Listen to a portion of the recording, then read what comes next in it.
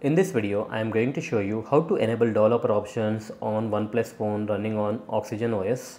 Open settings on your phone. Under settings, you need to scroll all the way down and click on about device. Under about device, you need to scroll down. Below Android version, you can see version. You need to tap on version.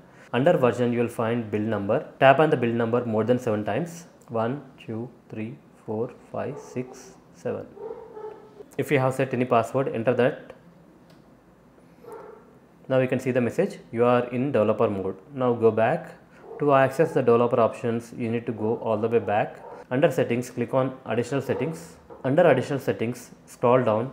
You will find developer options. Over here you will find different uh, developer options. You can enable them such as OEM unlocking